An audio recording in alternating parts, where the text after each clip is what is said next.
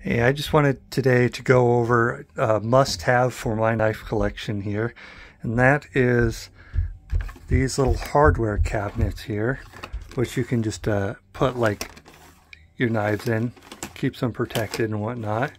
Um, uh, I actually have some doubled up right now, so I actually just bought another one because my knife collection is kind of getting a little bit big. Uh, I might have a little bit of a, a knife addiction, I guess.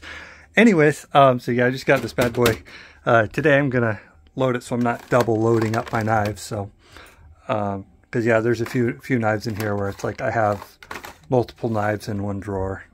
Um, yeah, you can kind of see like they got like my, you know, cheaper Buck 110 Slim, and then I have like the uh, the Slim Pro underneath that. So, um, yeah, I mean I'm kind of stacking things. So I'm gonna move some things over. But anyways, these are a 64 uh, drawer uh, hardware cabinets. Uh, they're made by Iris USA, um, and I actually bought them just right on Amazon. Um, and right now they're like 50 bucks. Uh, if you guys want or, you know, make mention in the comments if you want to have me put a link in there. If you can't seem to find them, I could do that. Um, if nobody cares, then I probably won't, won't actually list it.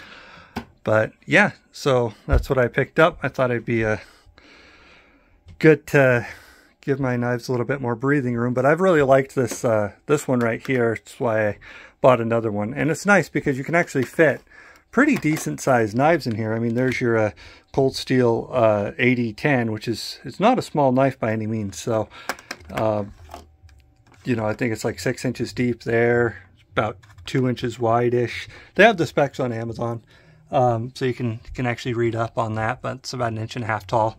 So definitely big enough for most of your folding knives. Um, for, uh, I guess for my fixed blades, I just keep them in this little wooden chest right there. so anyways, yeah, um, so there's my uh, little storage solution that I think is a must-have for at least my knife collection. I mean, other people may find things that work better for them, but this one um, I like just because it keeps everything separated, but yeah, in an organized way and accessible. So, and it's not too expensive. I mean, these are uh, about $50 right now, which isn't too bad at all. So, yeah.